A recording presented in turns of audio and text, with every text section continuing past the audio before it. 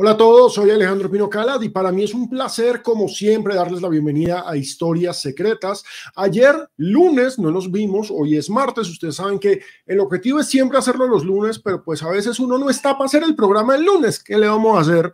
Entonces lo hacemos hoy el martes, pero además había un motivo también para hacerlo hoy y es el tema de James Rodríguez. Hoy el programa va a hablar de James Rodríguez y ojo este programa no es para criticar a James Rodríguez, este programa no es para cuestionar sus decisiones, este programa es para tratar de explicar qué pasa. Pero mientras arrancamos con el tema central, porque recuerden, en estos momentos James Rodríguez podría estar pasando a su séptimo, séptimo equipo en cinco años. Y eso es jodido si estamos hablando del capitán de la selección Colombia, así es jodido. Hablemos un poco de lo que está pasando en el mundo del deporte. Hoy arrancó el Tour Colombia, vieron el gran bigote de Fernando Gaviria, ganador de la primera etapa del, del, Tour Colombia. Qué grande es Fernando Gaviria y qué grande es ese bigote. Don Daniel, ¿cómo va? Aprovecho para saludarlos, aprovecho para conversar con ustedes. Muchas gracias, Julián. Hombre, un montón de Julianes, qué bueno. Para mí es un placer saludarlos, para mí es un placer estar con ustedes. En serio, lo agradezco muchísimo. Cuéntenme si están escuchando a la perra ladrando de fondo, porque me tocó encerrarla en el cuarto, pero pues, hombre, no, ella quería estar acá e insistía, Diego, muchas gracias, muchísimas gracias. Pero bueno, vamos a hablar de noticias y vamos contando poquito a poco qué va pasando, porque recuerden que seguimos. Aquí como la norma es que tiene que haber fútbol profesional colombiano todos los días, porque lo que importa es dar partidos de fútbol por televisión. Estamos aún en la fecha 4, es martes es martes. Y aún estamos en la fecha 4 del fútbol profesional colombiano, 11 Caldas contra Equidad y hoy en medio de un aguacero porque ha llovido toda la tarde en Bogotá, el frío que está haciendo en Bogotá es bastante importante y nótese la ironía, hace una semana nos estábamos muriendo del calor y preocupados por los incendios, hoy estamos preocupados por las inundaciones, Cambio climático, mucho gusto. A las 8 y 20, Independiente Santa Fe frente a Atlético Bucaramanga. Pero recordemos un poco lo que ha pasado en esta jornada en la que Alianza, Alianza, siempre voy a hablar de Alianza. Alianza Expetrolera, próximamente Alianza Valledupar o Alianza Vallenata, no lo sabemos, cayó con el Junior en un partido con tribunas a reventar. Y ese es un caso que hay que contar. Lo de Alianza es tan particular. Yo había hecho una encuesta en redes, ¿sí? Tony, Muchas gracias por saludar. Yo había hecho una encuesta en redes y la verdad les debo ese programa eh, para contar la historia secreta de los equipos que ya no existen, ¿sí? Eh, don Pablo César, yo estaba esperando que llegara usted, usted siempre firme, siempre saludador, muchísimas gracias. Agradezco a todos los que están mandando mensajes, ya saben, compartan este link, suscríbanse, mándenlo a todo el mundo a ver qué carajos pasa. No, pero es que, no, no, no, no, Diego, aquí aclaremos algo antes de que se juegue el primer partido de la primera fecha de la Premier, todos los equipos saben qué día y a qué horas juegan. Todos. Hay unos cambios excepcionales, unos cambios absolutamente excepcionales que pasan, por ejemplo, al Manchester City, la modificación de calendario por el Mundial de Clubes, pero está perfectamente programado. En las ligas grandes y en las ligas serias, todo está programado desde antes de que empiece el campeonato. Acá es, ahí vamos mirando, lo importante es dar partidos por televisión. Eso ahí vamos mirando hágale, hágale. Entonces, lo importante es tener todos los días un partido, ¿sí? Eh, es no, Luis, es una cosa de locos. O sea, es una cosa de locos porque recuerden que este año, no olviden una serie de factores que van a alterar totalmente el calendario este año, lo que es una demencia. Punto uno, la Copa América, mitad de año en Estados Unidos. Pero aparte de eso, Colombia este año es sede del Mundial Femenino Sub-20 entonces no se puede jugar durante el Mundial. No se puede, al menos en los estadios que van a estar reservados para el Mundial. Y además no se olviden que cada vez tenemos más y más conciertos. Y más y más conciertos implica que en muchas ciudades esos conciertos van a ser en estadios. Por ejemplo, aquí en el Campín, ¿qué van a hacer con Iron Maiden? Iron Maiden ya tiene reservado el estadio y reservado el estadio no es, no, es que hay una noche concierto y al otro día hay fútbol y antes puede haber fútbol. No, no, no, no, no. Los montajes implican que el estadio es del montaje, el estadio es del concierto, cinco días. Entonces, ¿qué van a hacer? Uy, Homer, muchas gracias, hermano, por saludar. Pero entonces hablemos de demencias, porque a mí la alianza me parece demente. Les venía diciendo, yo les debo ese programa. de los equipos que ya no existen. Digamos que la ciudad que tiene más equipos que ya no existen, curiosamente es Barranquilla, ¿sí? Porque es muy difícil competirle al Junior. ¿sí? Ser el otro equipo de Barranquilla es muy difícil porque Junior es básicamente, a ver, la, frase no es mía, la frase me la dijo Juan Gozaín hace muchísimos años, es que Junior es la novia de todos los barranquilleros.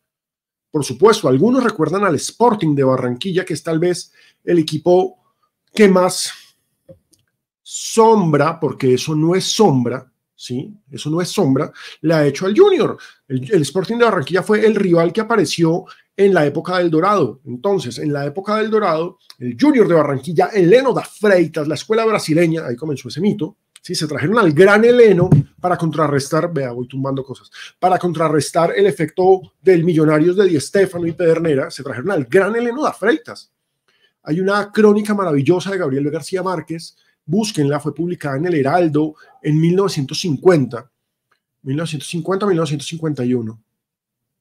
En alguno de esos dos años, eh, el primer partido de fútbol al que fue Gabriel García Márquez en su vida fue al Junior de Eleno, da Freitas, contra Millonarios de Pernera. Imagínense que ese sea el primer partido de fútbol al que uno va. O sea, el nivel de inspiración de eso, pues ya sabemos, un Nobel de literatura, nada más. La crónica es bellísima, es bellísima, es maravillosa, contando la reacción de alguien que nunca había ido a fútbol, que no tiene ni idea de fútbol y de cómo se enamoró del Junior ahí.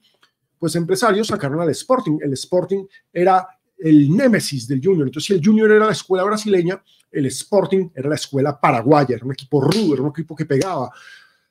Tuvo sus hinchas, sí, el tigre barranquillero, entonces era el tiburón contra el tigre, pero desapareció. Después lo trataron de retomar en los ochentas, pero fracasó. Y el Junior en general ha tenido varios rivales, muchos, muchos equipos en Barranquilla.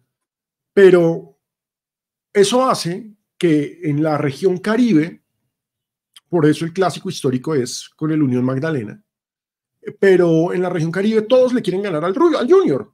Real Cartagena en su momento, Unión Magdalena siempre, por supuesto, eh, Jaguares en algún momento determinado de la vida y ahora llega Alianza obviamente en Valledupar estaban desatados. ¿Cómo no van a estar? Y acá nunca voy a juzgar a la afición de una ciudad.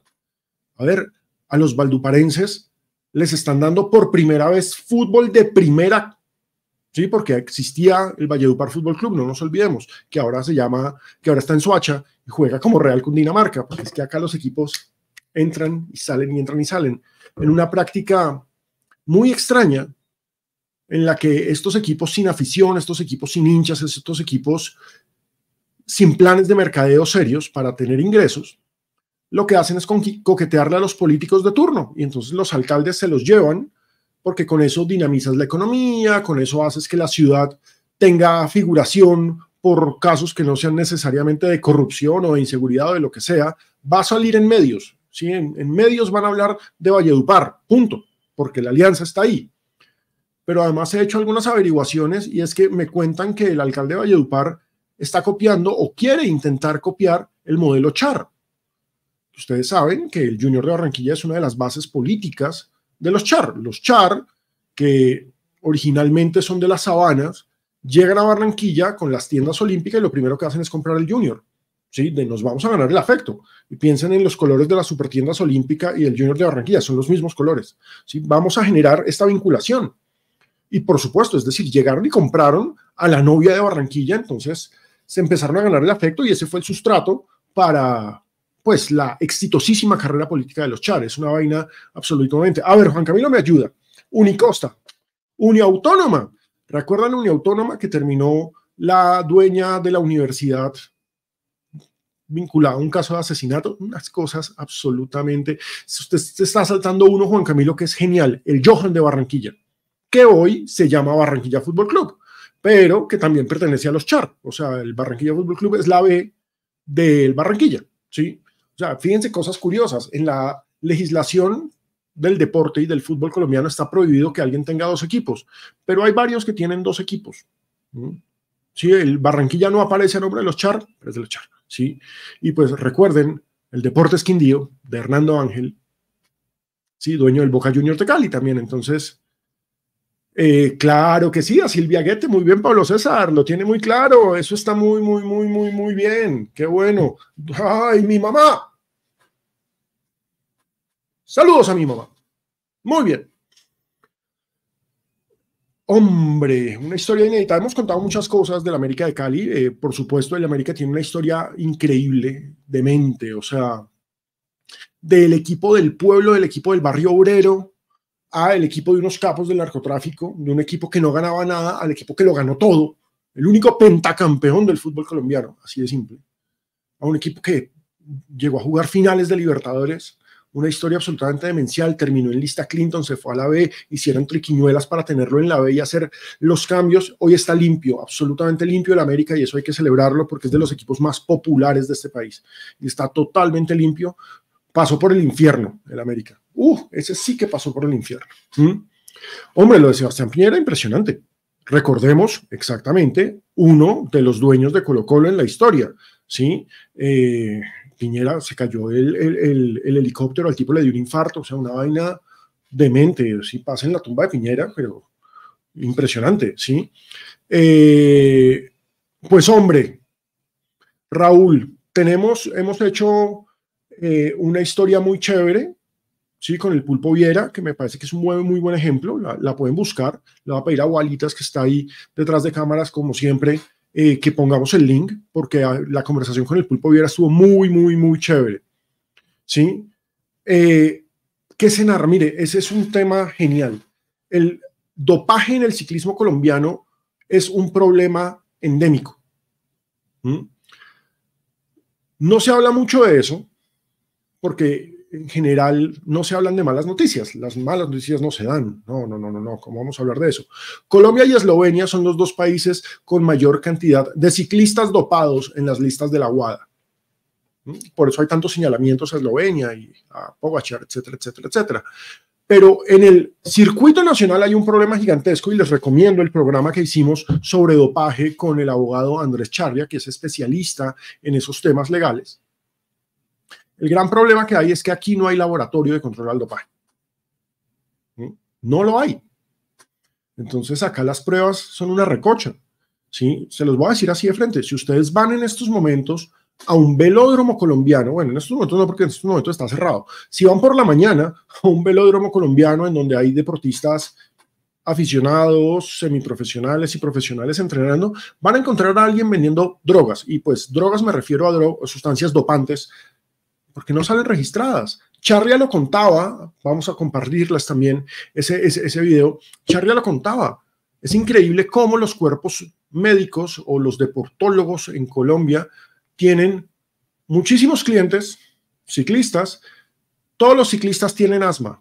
¿Por qué? Porque pues está autorizado eh, el... Eh, ay, se me olvida cómo se llama. Hoy estoy jodido. Se me olvida cómo se llama. Pero la sustancia sulbatamol, eh, Alguien, si se acuerda, por favor, me corrige. Andrés, ¿hace cuánto usted no ve una prueba de doping en Colombia? No hay laboratorio, hermano. No hay laboratorio. Salbutamol, gracias. Salbutamol. El salbutamol es una sustancia que tiene excepciones en la agua. El salbutamol es dopante. ¿Sí? Si usted es una persona que no sufre de asma y mete salbutamol, pero va a aparecer dopado. Pero si usted tiene un permiso médico, gracias Jorge Andrés, si usted tiene un permiso, un permiso médico que dice, no, es que Alejandro Pino tiene asma, gracias Juan, entonces pues puede usar salbutamol, usted tiene una excepción y usted vaya a ver y todos los ciclistas en Colombia casualmente, curiosamente, irónicamente, tienen asma. Es una vaina brutal. ¿Sí? Ahí está. Gracias, Wallace.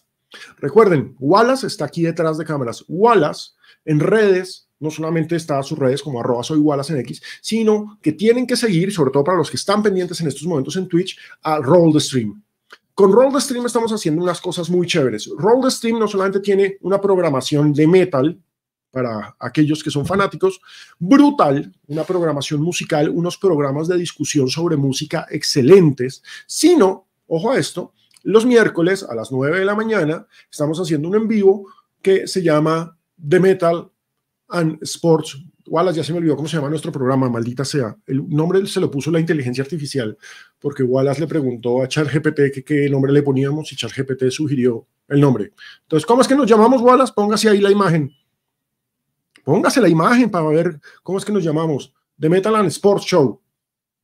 Los miércoles a las 9 en Twitch. Sí, ese es solo de Twitch pero para que le paren bolas. Pero lo bueno es que Roll the Stream lo sube también como podcast. Entonces, párenle bolas a los podcasts porque Wallace hace un magnífico trabajo. Entonces, ojo con eso. Pero bueno, sigamos hablando de temas. Vea, de Metal and Sports Show. Ah, sí, de Metal and Sports y yo con mi camiseta de Blondie porque pues es que que vio el punk. Sí.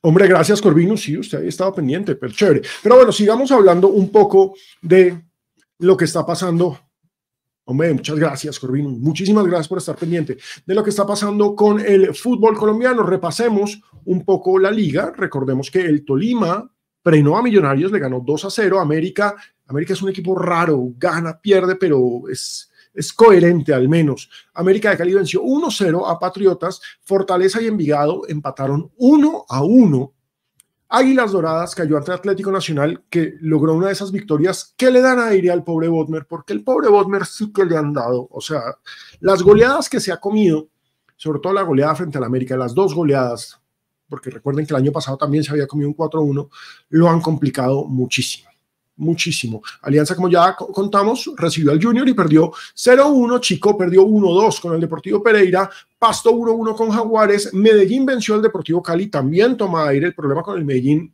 es por fuera. Medellín es un muy buen local, pero por fuera, ocho goles en dos partidos, hermanos. Es que se comió dos goleadas bastante feas el Medellín, pero eso le da aire. Incluso se empezó a especular con la salida del técnico situaciones raras y muy típicas del fútbol colombiano. Pero aparte de eso, repasemos un poco la actualidad de los futbolistas colombianos en el exterior. Si ustedes recuerdan, Jerry Mina, y a mí esto me parece supremamente doloroso, Jerry Mina debutó este fin de semana con el Cagliari y se comió una goleada agresiva. Le fue muy mal a Jerry Mina, pero es que es el tipo de problema, esas vainas pasan cuando usted se baja de un avión, hace un entrenamiento y de una lo ponen de titular en una defensa de tres cuando usted venía jugando en una defensa de cuatro. O sea, el tipo se vio muy mal frente a la Roma.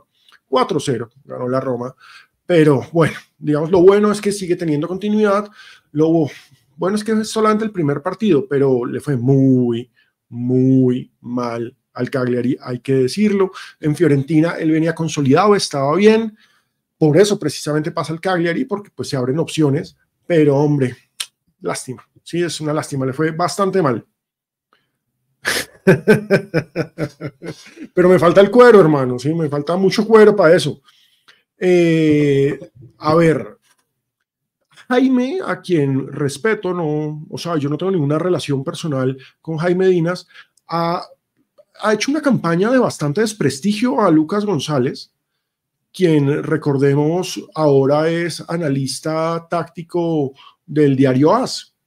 Sí, pero o sea, y lo ha trapeado en redes sociales. Yo no tengo ninguna prueba ni ningún comentario sobre malas prácticas, que es lo que ha dejado ver sobre la mesa Jaime Dinas. Lo que sé es que no lo querían esperar. O sea, básicamente primero hubo una discusión porque pues el dueño y la presidenta querían traer a Arturo Vidal eh, y él dijo que para qué, o sea, pues si traían a Vidal el equipo iba a estar muy viejo. Y tiene cierta medida razón. Un equipo con Adrián Ramos, un equipo en el que eh, la, la columna vertebral sería mayor a 30 años para un fútbol, entre comillas, dinámico. Ahora, yo tengo que decir algo. Si a mí me traen a Arturo Vidal y me están diciendo, yo le pongo a Arturo Vidal, Arturo Vidal solo con cuento, con camiseta, en el fútbol colombiano marca diferencia. En el fútbol colombiano, los veteranos, los que ya no rinden en ninguna otra liga por físico, como el fútbol colombiano es tan lento, porque la excusa es, que es dinámico, ¿no? El fútbol colombiano es tan lento que acá los veteranos sacan distancia. ¿Sí? A ver, y Adrián Ramos, Adrián Ramos es un crack, yo soy fan de, de Adrián Ramos. ¿Sí? Pero, hombre, lo sacan, prometen a Gareca, se ponen a armar bulla con que van a traer a Gareca, Gareca termina aceptando la selección chilena. Me parece que tomaron una buena decisión con Farías. A mí Farías me parece un muy buen técnico. Muy, muy, muy, muy buen técnico, más allá de que a algunas personas les caiga mal por su personalidad, por lo que muestra, a mí me parece que es totalmente una cámara, ¿sí? una cámara, una máscara, una cámara, una máscara para proyectar una imagen totalmente diferente, pero, hombre, no sé, en el fútbol colombiano no se respetan los procesos e igual funcionan. Aquí hemos tenido técnicos que son campeones después de dirigir 6, 7 partidos. Así es el fútbol profesional colombiano. ¿sí?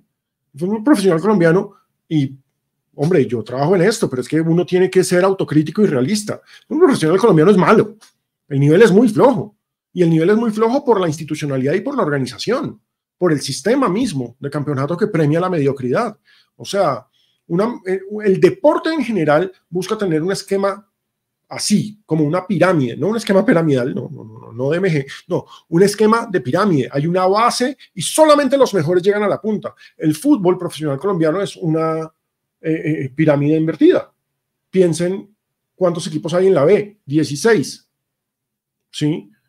16. Acá hay 16 y aquí arriba hay 20 y no hay C.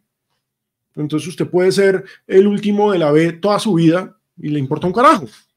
Se premia la mediocridad. Usted puede entrar de octavo y ser campeón. Acá el campeón no es el mejor de una liga, acá el campeón es el mejor de unos cuadrangulares. Y eso se ve reflejado cuando llegan a la Libertadores o a la Sudamericana y nos va como un jopo. Eh, claro, vea, ¿qué se narra? El problema es un desastre en la organización, es un desastre. Ahora, desde la Di Mayor me llaman y me cuentan y me dicen, no, hermano, usted tiene que entender que nos meten conciertos y que la programación, y además es que poner de acuerdo a los 36 personajes es bien jodido, a las 36 joyas que dirigen el fútbol profesional colombiano, es bien, bien, bien jodido. Sí, Corvinus, tal cual. Sí, fíjese la falta que le hizo Macalister a Millonarios. O sea, si ustedes se fijan, los mejores equipos de la liga tienen figuras que ya superan los 30 y piola. ¿sí? ¿sí? Junior Carlos Vaca, o sea, sin Carlos Vaca Junior no es campeón, así de simple. McAllister en Millonarios, Adrián Ramos en el América, ¿sí? En Nacional le ponen velas a Dorlan Pavón todo el tiempo. Hermano Dorlan Pavón. ¿Quién es la gran figura de Independiente Santa Fe? Hugo Rodallega. Hugo Rodallega que va para los 40, hermano. Entonces, es un fútbol de viejos. No me vengan a decir que no, es que el nivel. Es un fútbol de viejos porque acá no se premian los procesos y porque acá el que medio figura sale corriendo a buscar plata negocios, o lo venden o él sale corriendo, ¿sí? O lo venden, como pasa generalmente con el Cali, con Envigado, ahora con Nacional, o sale corriendo como pasó con Guerra en Millonarios. No, no, no, no, no, no, no. Yo ya medio figuré, ya medio tengo nombre, ¿cuánto me van a pagar? Chao, perros. Tal cual. ¿Mm? A ver, no. La propuesta, Raúl Camilo, es muy buena, pero eso no va a pasar porque es que ellos operan como una democracia y como una cofradía, entonces es lo que ellos digan en voto y esta es una democracia en la que gobiernan y mandan los equipos chicos. ¿Mm? Mandan son los equipos chicos. Entonces, a los equipos chicos eso no les interesa. A los equipos chicos lo que les interesa es que pongan a alguien que les dé plata, que les reparta buena plata. Y eso es lo que han hecho. ¿Sí? Eso es lo que han hecho. O sea, Yesurún tiene el poder absoluto porque Yesurún es el dueño de la chequera. Hermano Néstor Julián, la única forma es que se lo compren. Ese tiene ahí una minita muerto de la risa, mire. Se lo voy a explicar de esta forma, Néstor Julián, y esto va para todos los hinchas del Quindío. Deportes Quindío puede estar toda la vida en primera B, pero en términos de contrato de televisión es categoría A. ¿Por qué? Porque está en el contrato. ¿Sí? Los equipos tradicionales del fútbol profesional colombiano, que son 14, son todos categoría A, aunque estén toda la vida en la B. Y de esos 14 tradicionales, el Quindío está allá abajo, tiene nómina de la B, o sea, la nómina del Deportes Quindío es una nómina que no debe pasar los 100 millones de pesos. Eh, y como no pasa de los 100 millones de pesos, entonces, pues, pongamos que al año, con premios, son 1.500 millones de pesos. Eso se gasta el Quindío en nómina al año, 1.500 millones de pesos. Pero como es categoría A, al año recibe, o sea, como es categoría A en derechos de televisión, aunque esté en la B, aunque esté de último en la B, recibe 1.250.000 dólares. Haga la cuenta. Usted paga una nómina de la B, recibe plata de la A y está muerto en la risa. Porque además factura si vende jugadores. ¿A usted qué le va a interesar si le va a la gente o no? Porque además los hinchas fieles van a seguir acompañando. ¿sí? No estoy diciendo que en, el estadio de Armenia, que es precioso, me encanta ese estadio, vayan las 25 mil personas que caben siempre. No, si el equipo llega a medio tener una buena campaña, la gente vuelve porque así somos. Estamos jodidos.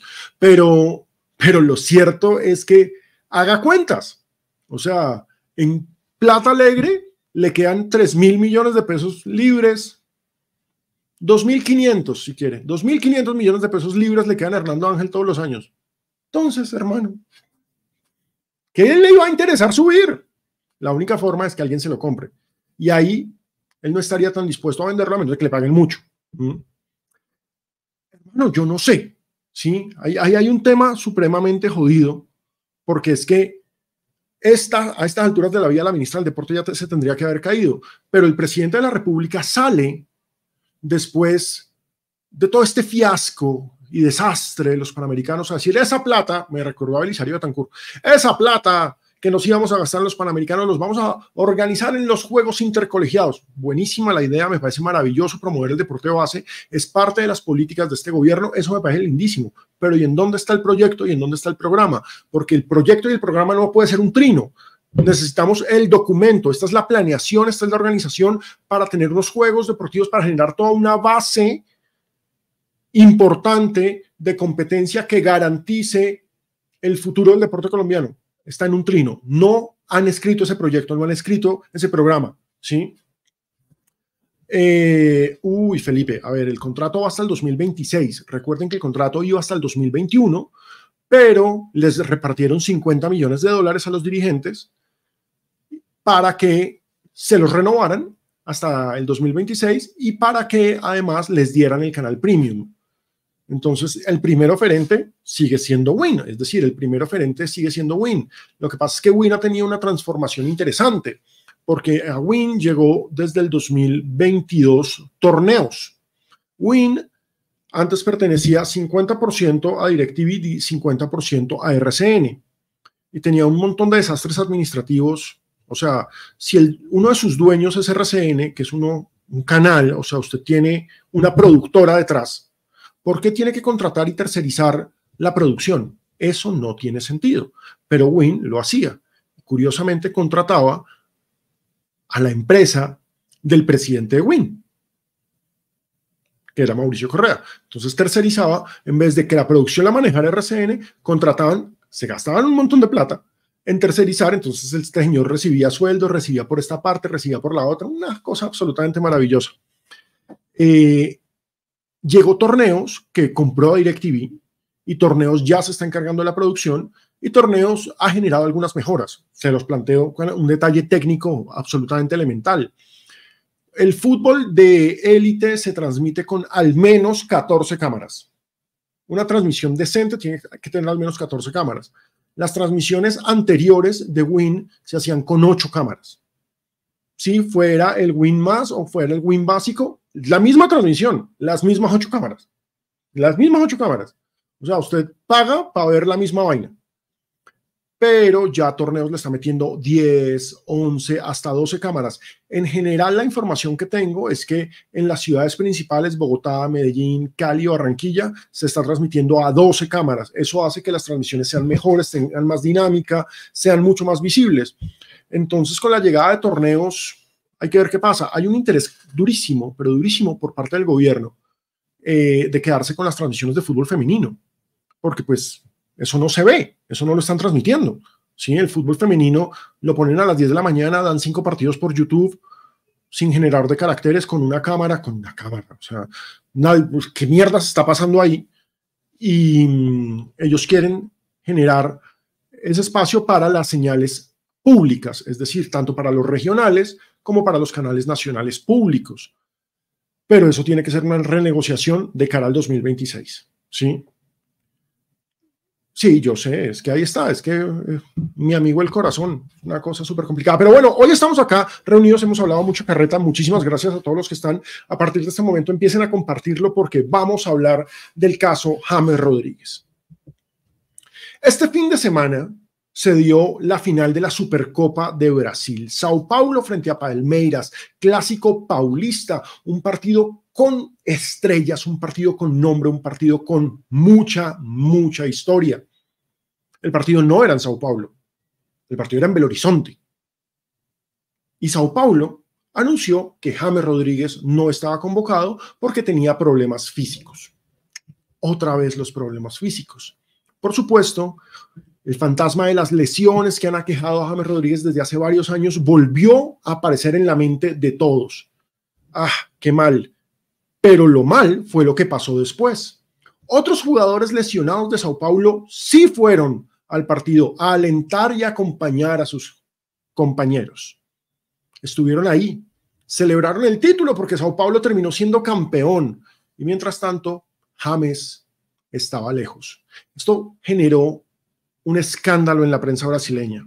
Otra vez James Rodríguez en medio de un escándalo. Y el escándalo decía que básicamente no había buen ambiente porque James no acompañó a sus compañeros. James no estuvo ahí para su equipo. James no hace parte del equipo. En todos los programas de televisión brasileña, que sí que tienen programas sobre fútbol, se debatía y que sí, que no, que James, que muy crack, pero es que no se adapta, pero es que no tiene continuidad, pero es que no juega nunca, pero es que juega tres partidos y se lesiona y empezó un nuevo rumor, que James Rodríguez dejaba al equipo paulista para irse al Besiktas, que tiene una oferta. Rumores, rumores y rumores. Mientras tanto, James responde de la mejor forma.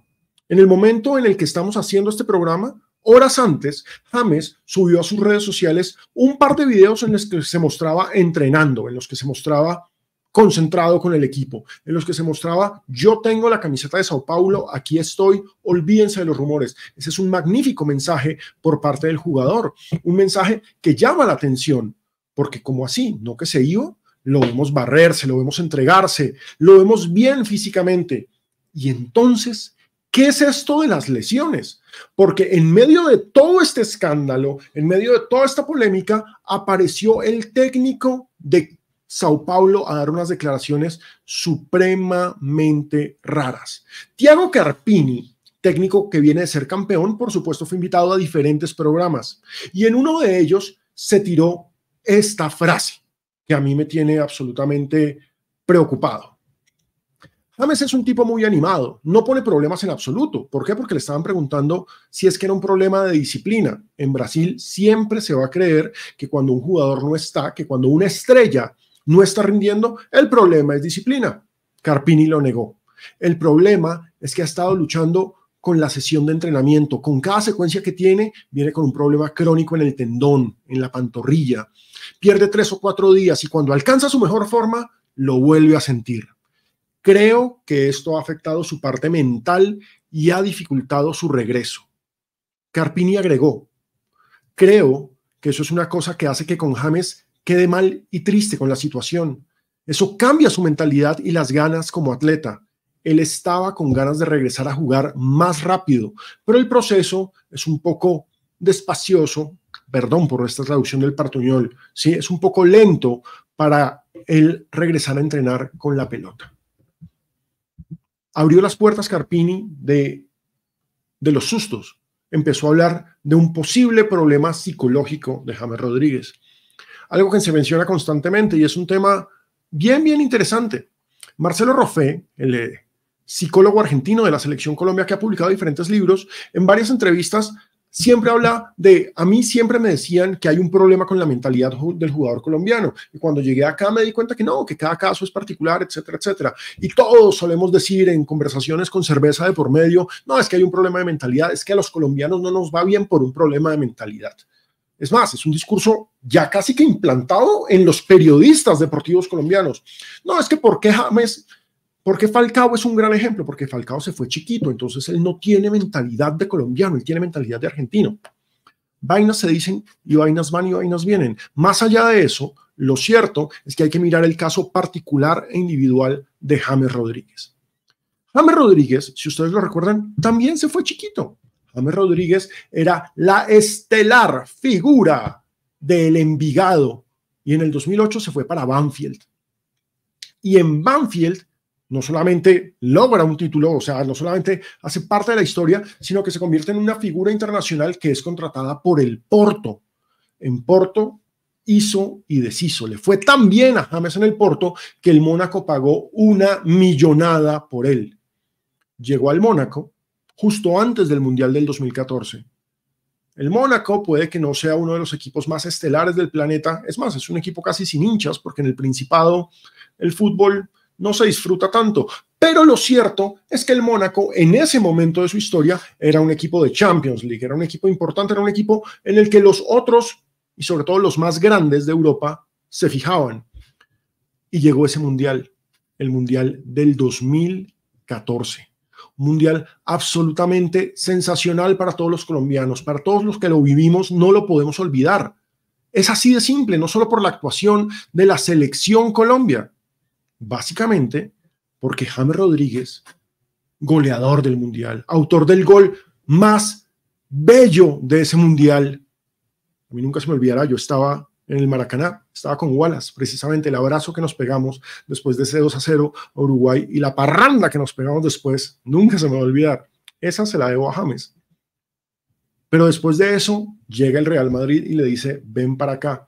Y parecía que se consolidaba una superestrella y es nuestra superestrella. E insisto, este programa no es para criticar a Mer Rodríguez. Acá no lo vamos a criticar. Acá no lo vamos a destruir. Acá vamos a tratar de explicar qué carajos pasa. Porque con 23 años, James Rodríguez llegó al Real Madrid como estrella y tuvo una primera temporada notable, pero después empezó a caer su nivel. Eso suele ser normal. He estado leyendo varios textos sobre psicología deportiva para poder hacer este programa, para tratar de entender el por qué. Y quiero que tengan en cuenta el primer concepto clave que encontré en definitiva en casi todos estos textos, ¿sí? Y es que de entrada, el deporte de élite, el deporte profesional, es un atentado contra la salud mental. Hay una exigencia permanente. ¿sí? Hay una exigencia y una exigencia y una exigencia que inevitablemente, desde la psicología del deporte, plantea. El deporte profesional atenta contra la salud mental.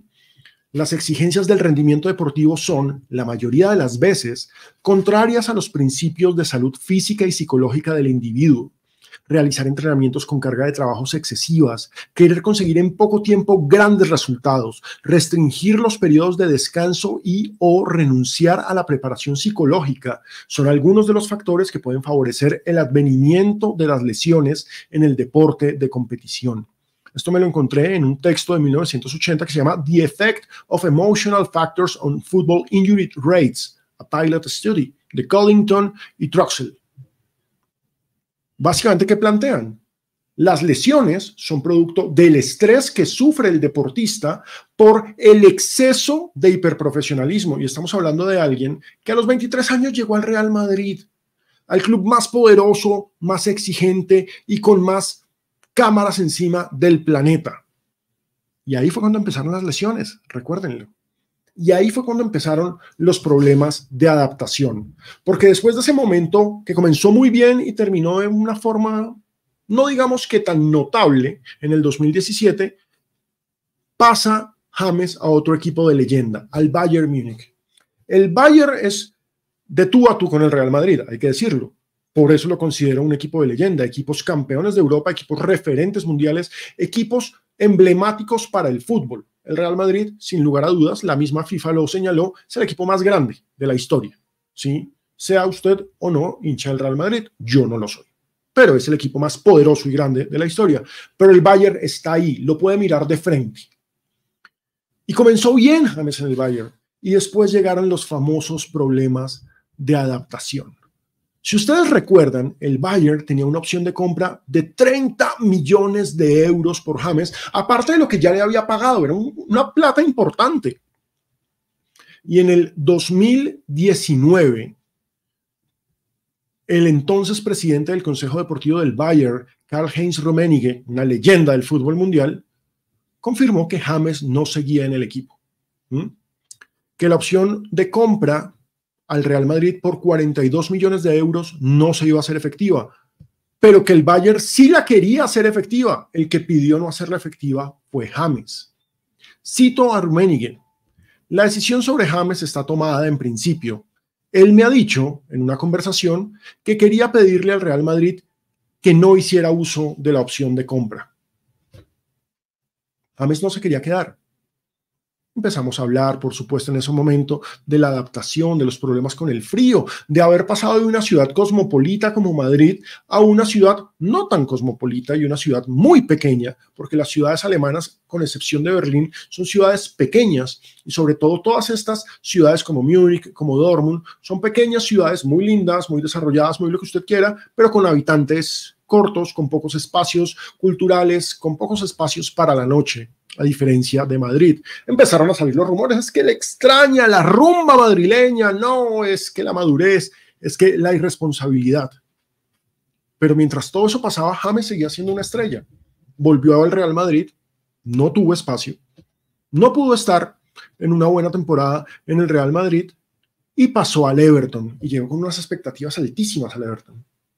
El Everton, que es uno de los equipos importantes de Inglaterra sin ser de los grandes, pero es el enemigo número uno del Liverpool y es un equipo con un pasado glorioso y es un equipo con una hinchada gigantesca y había unas expectativas enormes porque era la Premier League. Y a pesar de comenzar bien, no pudo seguir bien y se fue en ese paso extraño al Al Rayyan. Al Al. ¿Sí? En el Al Rayyan jugó 16 partidos nada más y se fue. Hace poco, en una entrevista en Brasil, James, que es un hombre poco dado a las entrevistas, confesó que nunca se pudo adaptar a la cultura árabe, por supuesto. Sí, es duro, es duro. Acá ya el tema no era, no, es que el frío o es que los alemanes son muy secos. Acá el tema es que en el mundo árabe se come con la mano.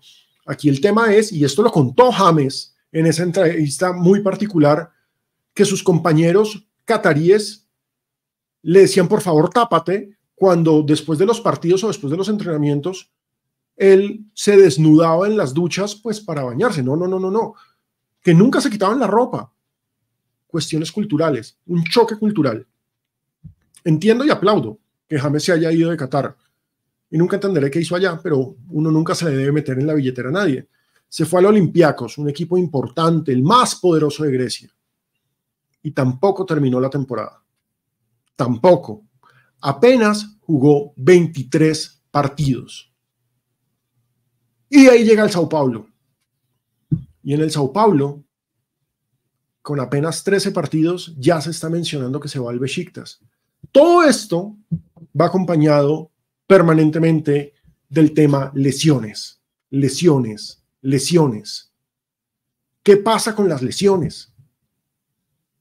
En las cosas que me encontré, en las diferentes lecturas que hice, hay un lugar común y el lugar común es el estrés, la falta de acompañamiento psicológico. Y hay algo que me pareció supremamente importante y es el papel del entrenador. Fíjense en esto, el papel del entrenador en las lesiones deportivas. El entrenador puede llegar a ser uno de los factores favorecedores de la lesión, ya que su actitud y su discurso hay que dar más, hay que ser más duro, hay que meterse un 110%, pueden hacer que los deportistas se arriesguen más y con mayor frecuencia, aumentando así las probabilidades de caer lesionados. Esto está en un estudio de Williams, Rotella y Scherzer del 2001. Si ustedes recuerdan, el mejor momento de James Rodríguez tiene a dos entrenadores con características similares detrás. Uno de ellos, por supuesto, José Peckerman. El mejor momento de James es con la camiseta amarilla de la selección Colombia. Es en esas eliminatorias y mundial de 2014. Ese James era el James por el cual el Real Madrid pagó lo que pagó. Así de simple. Pero aparte de eso, fue ese momento con Carlo Ancelotti en el Real Madrid. Unos entrenadores paternales que protegían, que cuidaban, que saben manejar el camerino y no, como escuchamos, las declaraciones del actual técnico del Sao Paulo, alguien que está exigiendo, se lesiona, se lesiona, es que se lesiona. Además, esto hay que sumarle un factor y es que obviamente el jugador se va a poner unas exigencias a sí mismo. Pero aquí está el punto y aquí está el problema. ¿Qué está pasando con James? Es el 10 de la selección Colombia, es nuestro 10. Es uno de los ídolos nacionales, es uno de los referentes de esta nación golpeada y necesitada de referentes de identidad nacional que es Colombia. y no logra consolidarse. Es una situación supremamente extraña. Acaba de hacer el repaso. En cinco años van seis equipos. Serían siete si hablamos del Besiktas. Siete. Eso para un jugador top, para un jugador de élite, eso no es chévere. Eso no es bueno para nada. Ahora, al mismo tiempo hay que hacer un contraste. Les decía, el señor Marcelo Rofé, el psicólogo de la selección Colombia de Peckerman hasta el 2015, porque recuerden, Rofé estuvo detrás de todo ese proceso que nos llevó al Mundial del 2014, a nuestro mejor Mundial de la historia. Rofé se va en el 2015, después de la Copa América, después de ese fracaso y esa ruptura que hay en el Camerino y en la Selección Colombia en la Copa América del 2015. Y ahora es de nuevo el técnico de la selección, el técnico, el psicólogo, disculpen, de la Selección Colombia, el técnico Néstor Lorenzo, se lo trajo. Néstor Lorenzo, recuerden, era asistente técnico de Peckerman. Se lo trajo y está ahí. Miren cómo le está yendo a esta selección Colombia. Recuerden que nuestra querida selección Colombia no estuvo en Qatar 2022 porque duró siete partidos sin hacer gol. Siete partidos sin hacer gol. Rofé, que ha publicado diferentes libros sobre psicología deportiva, que es un tipo supremamente interesante y un conocedor del tema, ha estado detrás de grandes estrellas y de grandes equipos. Rofé explicaba que, por supuesto, hay que hacer trabajos individuales, pero hay que hacer trabajos colectivos con los jugadores. Explicaba el papel de empoderar a cada jugador y de entender su momento y su proceso para que pueda dar todo lo que tiene. Resulta que Rofé, en una entrevista con el colombiano en el lanzamiento de su más reciente libro, en el pasado diciembre, dijo esto sobre James. James es de una humildad extraordinaria, pero lo han malinterpretado en alguna declaración. Estoy muy feliz por él porque gracias a Néstor Lorenzo que lo rescató, él volvió a ser feliz con la selección y volvió a ser feliz a la gente. Es una persona muy humilde y todo un crack. Como lo dijo Bielsa tras el partido frente a Uruguay, el secreto es nunca creérsela, querer seguir creciendo y rompiendo récords. Seguir creciendo. Y ahí está el problema. Hay una ambición permanente de James en seguir creciendo. Y James no se está ganando las titularidades. James, quien declaró que el fútbol brasileño no es lo que esperaba, que era mucho más físico de lo que él esperaba, no ha logrado encontrar el lugar en donde es feliz. El único lugar en donde es feliz es en la selección Colombia. ¿Por qué? Muchos dicen, porque es el consentido, porque se le permite hacer absolutamente todo. Y sí, eso puede ser cierto. ¿sí? Él es el eje de la selección Colombia, él es el capitán de la selección Colombia. La selección Colombia es el equipo de James. Pero el problema es que no necesariamente estar en la selección Colombia va a garantizar que James tenga un buen nivel. Debería ser todo lo contrario tener un buen nivel para llegar a la selección Colombia. Y con esta cambiadera de equipos y esta falta de consolidación, ¿qué va a pasar? Hay que agradecer, por supuesto, que aún falta para la competencia oficial, que es la Copa América a mitad de año. Se vienen unos partidos importantes contra España y contra Rumania en la selección Colombia y muy seguramente James Rodríguez, como siempre, a menos de que la lesión sea realmente crónica, va a ser convocado. Pero ustedes lo vieron en el video que publicó hoy mismo. Él está en nivel, él se tira al piso, él corre, él mete, él choca, él presiona. Entonces, ¿cuál lesión? ¿El problema es psicológico? Si uno hace caso a las diferentes apreciaciones sobre las lesiones deportivas y la parte psicológica de los futbolistas, la respuesta es sí, hay un problema psicológico.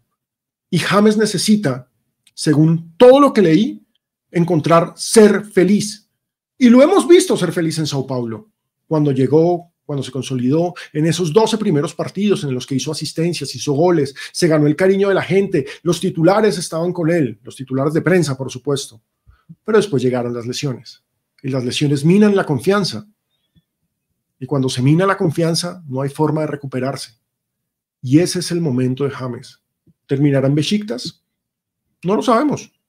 Sería una lástima porque Sao Paulo es un equipo grande, no porque Besiktas no lo sea. Besiktas está en Europa, por supuesto, pero Sao Paulo podría darle unas condiciones y unas características para que él sea feliz. La ciudad es encantadora, es una ciudad absolutamente maravillosa, cosmopolita, y queda cerca a Colombia, y culturalmente es mucho más cercana a nosotros que Turquía, y es un idioma que él conoce, el portugués, por sus años en Porto. mientras que el turco empieza a generar esos problemas, como pasó en Bayern, en donde el alemán también era una frontera. El problema de James, evidentemente, tiene que ver con la psicología y su mente influye en que aparezcan las lesiones físicas, porque aparece la sobreexigencia y con la sobreexigencia llegan más y más lesiones. James Rodríguez es un crack, puede ser el jugador colombiano más importante de la historia en un mano a mano y dejo que ustedes lo definan y lo pueden comentar perfectamente con Falcao García. Es el capitán de la selección Colombia y es el colombiano más destacado en la historia de los mundiales de fútbol. Y una vez más está en el limbo y una vez más nos tenemos que hacer la pregunta, nuestros jóvenes futbolistas, él ya pasó los 30, pero se fue de acá siendo un niño. Nuestros jóvenes futbolistas los estamos preparando en la base para que afronten la carrera que se les viene por delante. Fíjense en la cantidad de futbolistas jóvenes que salen del país. En un informe reciente quedó clarísimo, Colombia ha tenido un crecimiento de un 40% en exportación de futbolistas. Salen y salen y salen y salen y salen. ¿Cuántos se han consolidado? El ejemplo más famoso y el que todo el mundo referencia es Marlos Moreno, pero no necesariamente tenemos que hablar de Marlos. Piensen en cuántos jugadores muy jóvenes se van y terminan devolviéndose o terminan teniendo una carrera mucho menos brillante de lo que prometían en un comienzo. ¿Dónde está el papel de la formación y de la guía en el fútbol colombiano? El objetivo es que seamos una fábrica y un galpón para producir producir futbolistas y que entre plata. O vamos a pensar en esos jóvenes que van a tener una carrera muy corta, porque la carrera de futbolista es muy corta. Puede llegar a ser altamente gratificante. Y un ejemplo es Falcao, un ejemplo es James, un ejemplo son los que han hecho carrera en el exterior que aseguraron el futuro de sus bisnietos con la plata que se han ganado. Pero ¿y la cabeza? ¿Y el futuro? Y las decisiones sobre la vida, eso no se toma a los 30 cuando estás más cerca del retiro que de seguir. Eso se tiene que empezar a aprender desde la base, desde que son jóvenes y juveniles. Pero acá el objetivo de los equipos es únicamente venderlos y de las selecciones es únicamente venderlos. Fíjense lo que pasó con la sub-23 en el preolímpico. Un equipo armado para ver qué jugadores se podían vender. No para clasificar a los Olímpicos, no para promover a los talentos, no para empezar a planear y planificar el futuro de la selección Colombia. Simple y llanamente para vender. Los futbolistas en últimas en Colombia terminan siendo una carne que se vende cuando está pulpa y cuando está fresca, pero que por falta de proceso y de refrigeración acá va a terminar pudriéndose. Esperemos que con James todo termine bien. Esperemos que él esté bien. Por supuesto por él, pero también por los intereses de la selección Colombia, porque sigue siendo el capitán. Soy Alejandro Pino Calat y esto fue Historias Secretas.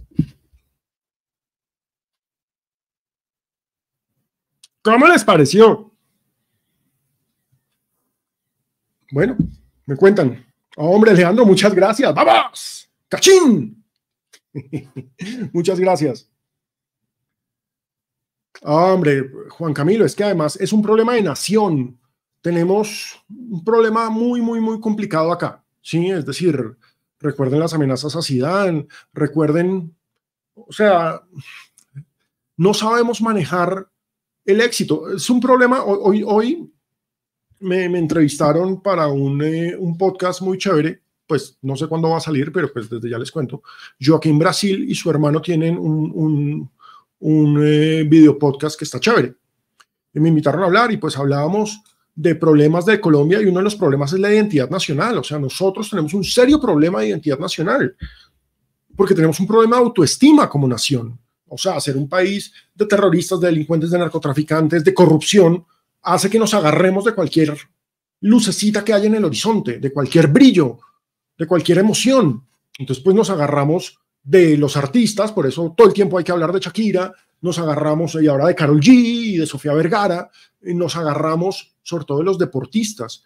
Y entonces les exigimos a esas figuras que logran triunfos individuales y que asumimos que son de todos, cuando no triunfan los juzgamos. A mí nunca se me va a olvidar la cantidad de palo que se le dio a Nairo por no ganar el Tour de Francia, perdónenme. Nairo es un monstruo, Nairo es una leyenda. Y entonces estamos esperando que esa figura a la que celebramos caiga para rematarla. Y un problema de autoestima brutal en este país. A mí eso me atormenta, me, persigue porque habla de nosotros, de cada uno de nosotros. Es una vaina complicado. Claro, Juan Pablo Pino. Juan Pablo Pino, hermano, el talento que tenía Juan Pablo Pino. No pudo, porque, insisto, hay un problema de formación, de formación. Lo de John Biafara es diferente. John Biafara no se fue tan joven. Cuando John Biafara se fue, ya era campeón de Copa Libertadores, ya llevaba muchos años jugando. John Biafara se fue como a los 26, 27 años. El problema de John Biafara son los malos pasos, que eh, en general también es un problema nacional. ¿sí? La, la cultura del narcotráfico se nos metió en el alma y creemos que la plata es fácil. Y John Biafara, después de retirarse y de ganar buena plata, porque él ganó muy buena plata, ya no tenía la misma plata. Y pues terminó vinculado, y ya sabemos, extraditado por sus vínculos con el narcotráfico. Hombre, yo también, yo quiero mucho a James. O sea, e insisto, este programa no era para criticarlo, este programa no era para juzgarlo, este programa era para tratar de buscar una explicación y un porqué, y espero que ustedes también me la escriban, qué opinan al respecto y demás. Ese es un gran punto, Cristian. Fíjese que entre las cosas que estuve leyendo decía que una de las claves es precisamente el entorno familiar y personal, lo que en inglés se llama el entourage, ¿sí? Y es una vaina súper extraña porque James, el mejor James era el James, y hay que decirlo, el James casado, el James separado empieza a complicarse y eso es duro. El, James que toma distancia de su familia, el James que termina siendo papá solo por una necesidad familiar también. Es una vaina jodida. Ay, Lloreda. Negocios, y además ahí está el punto, el enfocarse. Fíjense, la, Kings League arranca el 25, es más, tenemos la promo de la Kings League, porque la Kings League, que es algo que va a estar chévere, están anunciando jugadores todo el tiempo, todo el tiempo, ¿sí? Y además, recuerden, en el equipo de James va a estar Gio Moreno, nada más y nada menos. O sea, negocios, un tipo de negocios.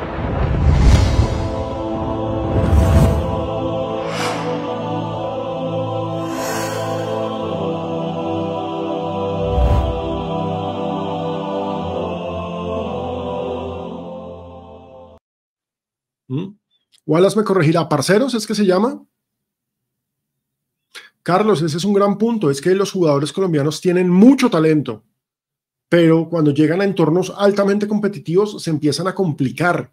Eso es muy jodido, por eso es que hay que celebrar cuando deportistas rinden al altísimo nivel. Nunca, siempre hablamos de James y de Falcao, pero por ejemplo, yo celebro a Juan Guillermo Cuadrado. Juan Guillermo Cuadrado sigue en Europa y no solamente sigue en Europa, sigue en un club top europeo. ¿Sí? Sigue en el club top europeo. Está en el Inter de Milán después de ser multicampeón de lo que se le dio la gana con Juventus. James, perdón, Juan Guillermo Cuadrado sigue siendo el único colombiano campeón de la Premier League. Vamos a ver si Luchito este año lo cambia, ¿no? Pero es una vaina brutal. Wallace me saca, sí, Parceros Fútbol Club, estaba yo en lo cierto, el equipo de James. Pero bueno, espero que les haya gustado el programa de hoy. Muchísimas gracias a todos los que han comentado, a Carlos y a los que han hecho el cachín. Qué chimba, en serio, muchísimas gracias. Eh, ah, hombre, no, no, no piensen eso, Carruispe. Piensen que habría sido la selección Colombia con Falcao y James juntos. Porque Falcao, el Falcao del 2014, el Falcao que se lesionó en enero del 2014, era, si no el mejor, uno de los mejores delanteros del mundo ¿Qué habría sido de Colombia con Falcao? Cosa absolutamente brutal.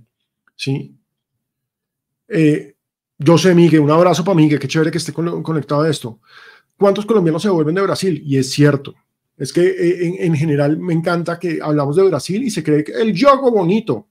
A ver, el fútbol brasileño no domina el continente solamente por el juego bonito. ¿sí? Es porque tienen plata y eso hace que el nivel sea altísimamente competitivo. El fútbol brasileño está lleno de estrellas y no de estrellas que van a mamar gallo como en Arabia. No, no, no, no, no. De estrellas que están en un altísimo nivel competitivo. Claro, Edinson, es cierto. A nosotros, insisto, el informe más reciente sobre transferencias de jugadores en el mundo muestra que Colombia es el país que aún más crecimiento de exportaciones o de venta de futbolistas en el planeta en el año pasado. Pero ¿y qué pasa con ellos? ¿Salen formados? ¿Están listos para enfrentarse a eso? No. De acuerdo, Carlos. Enrique ha unas declaraciones brutales, porque es que a los futbolistas es que es mucha plata, es que imagínese usted esto es duro decirlo, usted pasa de 0 a 100 en 5 años, en 3 años, sin preparación académica, muchas veces sin colegio, porque pues terminó estudiando en casa, ¿sí? Terminó validando lo que sea, y de un momento a otro, a los 20 años, usted es multimillonario. Eso jode a cualquiera que no esté preparado. Lo jode. Carlos Andrés, totalmente de acuerdo. Sí, Daniel Ruiz en Colombia marca una diferencia. En Brasil no. Y vea cómo le fue ahorita en la sub-23. Una vaina terrible. Nos falta mucho trabajar en inferiores. Nos falta muchísimo trabajar en un proyecto decisivo. Es que miren, una de las discusiones estúpidas es, con todo respeto, ¿no? Como buen colombiano, insulto y después digo con todo respeto. Iván Ramiro es leyenda. Es así de simple. Iván Ramiro debería ser el presidente de la Federación Colombiana de Fútbol y ya, no voy a decir más. Pero, mire, esto es una cosa súper extraña. Se armó toda una discusión de quién va a reemplazar a Héctor Cárdenas. Héctor Cárdenas se va a caer. Es así de simple. Héctor Cárdenas no sigue porque fue un fracaso brutal lo de los preolímpicos. Pero es que Héctor Cárdenas es el Paganini de un sistema que no tiene sentido. Me explico. La Federación Española de Fútbol, la Federación Inglesa, la AFA, si quieren, para coger al campeón del mundo, la Federación Francesa, tiene un programa específico de selecciones y hay una cabeza de selecciones. Y la selección juega a lo mismo, la sub-15, la sub-17, la sub-20, la sub-21, la sub-23, la de mayores. Juegan a lo mismo. Eso implica que todos los técnicos están conectados. Aquí en Colombia no. Acá el de mayores está por un lado, le está yendo muy bien. Yo no le tenía fe, lo, admito, pero le está yendo muy bien. Y los de las menores están por otro, y los de las menores los maneja Álvaro González Alzate, y el de mayores no lo toquen porque ese es de Yasurum. Entonces es como, y así nos va en menores. La última vez que nos fue bien en menores fue cuando Peckerman, como técnico de la mayores, se metió en la menores que al frente estaba Pisis. ¿Y se acuerdan que terminamos yendo a Olímpicos? ¿Y se acuerdan que nos fue muy bien en divisiones menores en ese periodo de tiempo? Porque había una conexión, porque es que los de las menores van a llegar a las mayores. Entonces, ¿de qué sirve que usted salga a jugar con el esquema de Cárdenas? ¿De qué sirve si la mayores juega otra vaina? No tiene sentido. No tiene sentido. Pero bueno, ya se nos hizo tarde. Igual las tiene que ir a comer y yo tengo que ir a ver a los perros. Entonces, muchísimas gracias a todos por haberse conectado, muchísimas gracias por los mensajes, muchísimas gracias a los que mandaron plata, que chimba, no, no, no, no lo vi venir, pero bueno, compártanlo, suscríbanse, sí, recomiéndenlo con sus amistades. Y ya, nos vemos la próxima semana, prometo que el lunes. Bueno.